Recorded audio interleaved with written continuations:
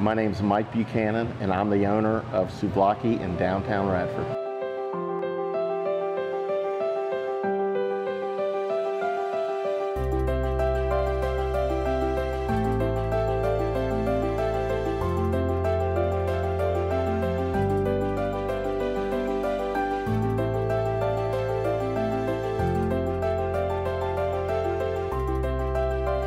Souvlaki started in 1982 in Blacksburg. Um, I have I bought it uh, 17 years ago this May. Um, the gentleman that started its name was Chris Kappas, and like I say, he started in '82, and he basically started it, you know, on a shoestring type budget. I mean, just handing out toothpicks of meat, chicken, pork, gyro meat, that kind of stuff, and just built it up from there. And uh, I bought it, I, I, was a student at Virginia Tech, and uh, I worked there while I was in college. And then he offered to uh, sell it to me, and I took the opportunity and ran with it.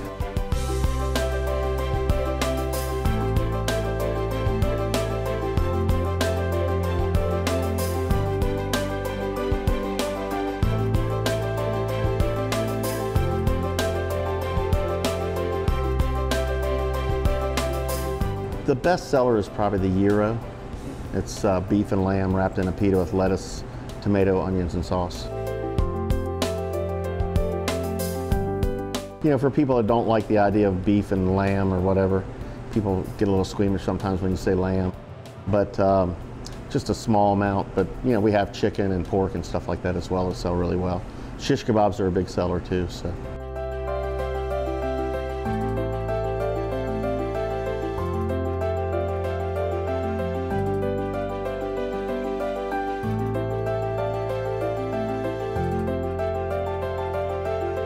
It's just something different. I mean, you can get a, you can go to Jimmy John's all, all across the country. You can go to Moe's.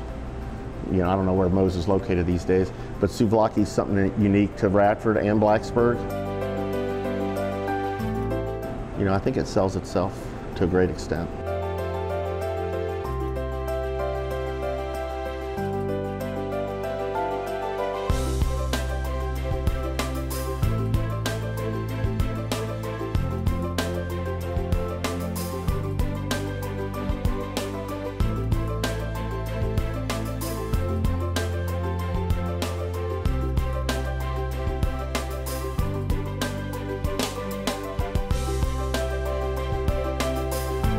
I try to support as many people as I can.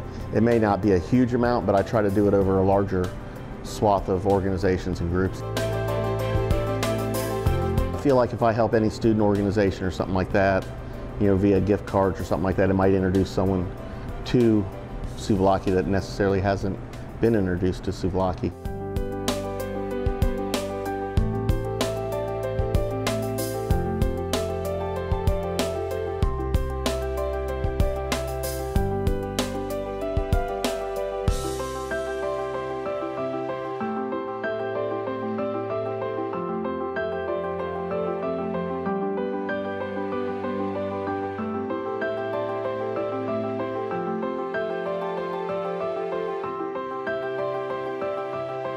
I try to give good food, quality service, um, and I try to help the community as much as possible.